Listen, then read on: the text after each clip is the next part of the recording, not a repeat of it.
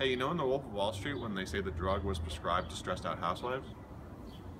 As a sedative, and was prescribed to stressed out housewives with sleep disorders.